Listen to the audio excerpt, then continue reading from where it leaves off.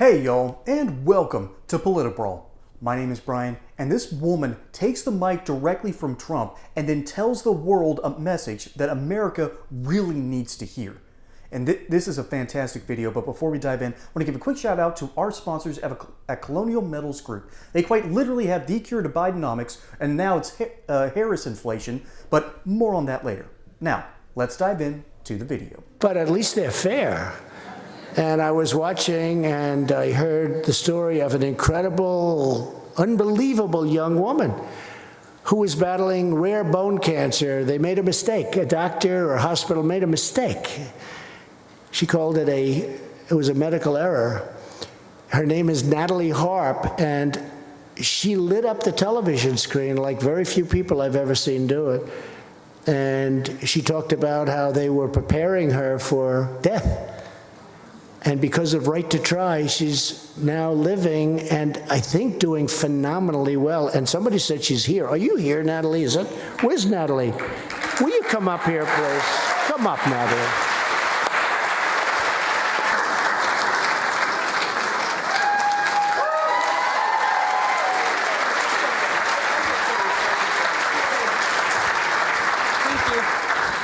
Thank you, Mr. President.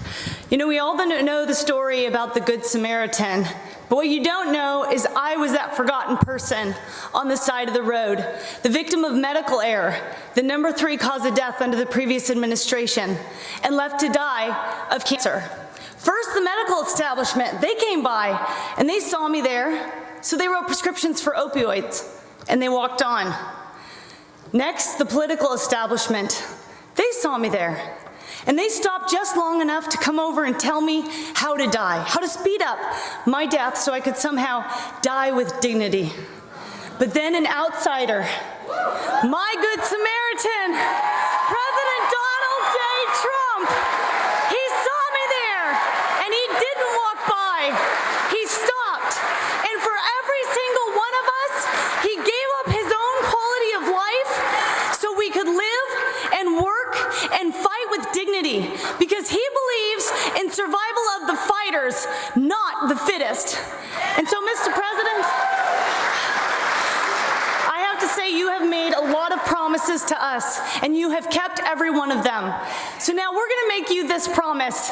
Just as you fought for us, Forgotten America will never forget how you saw us on the side of the road, and you walked over, and you picked us up, and you made us great again. And now we're going to fight for you, Mr. President. God bless you.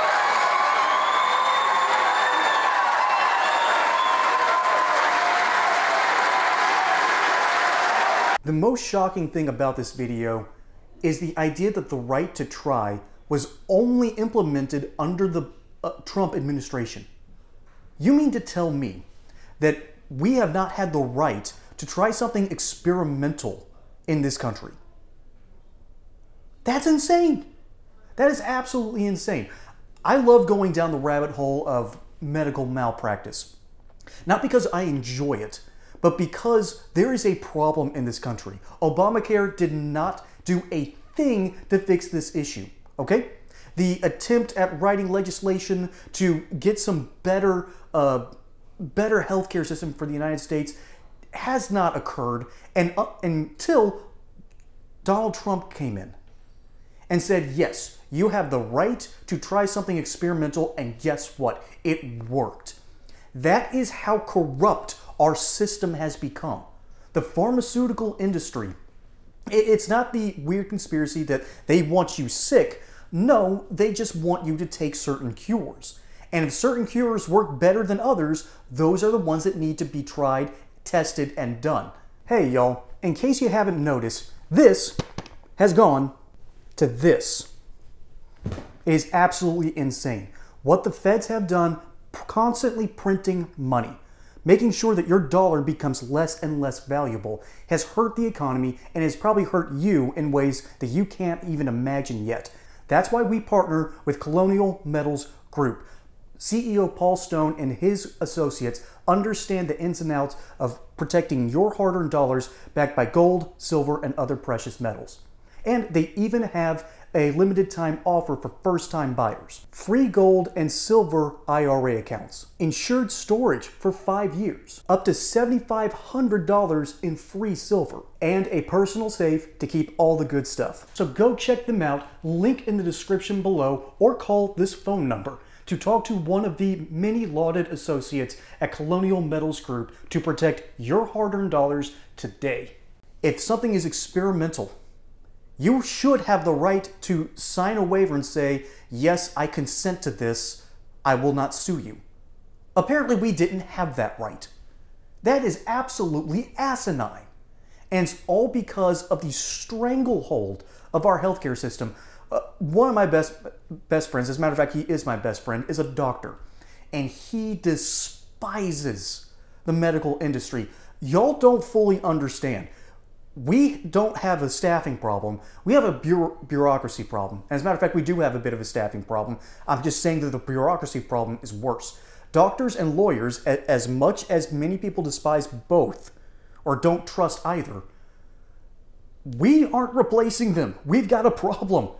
And furthermore, the staff keeps growing bigger and bigger. And it's not because we're getting more nurses and more doctors, we're getting more bureaucrats.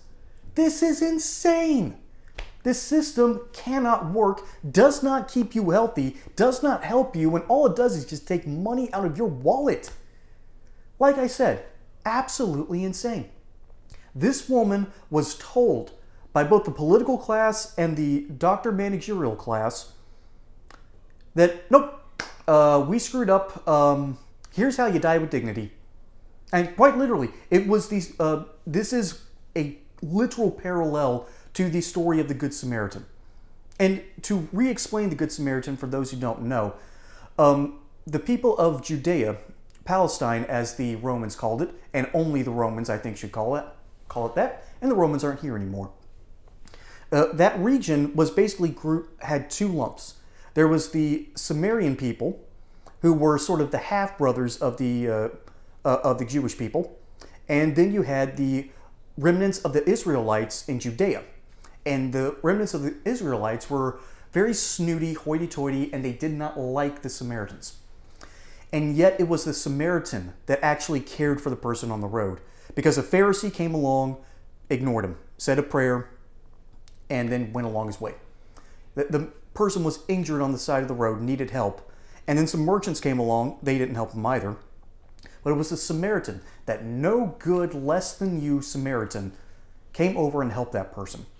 That is exactly what's happen- happened here in this video because of the right to try. We need rights like this. And you know what? I- am going to go down a little bit of a rabbit hole here.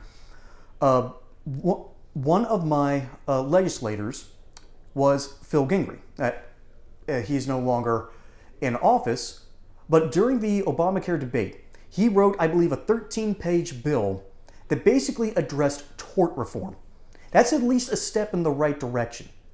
And that bill never made it out of the hopper because, let's be honest, uh, the Speaker of the House has way too much power. Uh, we, we've got to address that at some point because he had a perfectly fine piece of legislation that the Democrats would have never ever voted for because Nancy Pelosi had everyone's uh, had every Democrat by the throat and forced them to vote for Obamacare. On one hand, that's impressive because there were a lot of Democrats that weren't on board because there used to be a Democrat wing that was fiscally conservative and they saw Obamacare as this monstrous bill that did nothing. All right? It was the Patriot Act for healthcare companies. That's what it was. And he at least had a solution to one big problem. And tort reform is still an issue today because everything is so litigious. And part of it is because what she said in the video is that medical malpractice is the number three cause of death. How bad are our doctors? Is it the pharmaceutical industry? Is it, is it the is it the doctors? Is it the education system? What's the problem? Donald Trump at least addressed a part of it. And that's why I, that's why I support him so much because he at least tries to to solve some of the issues.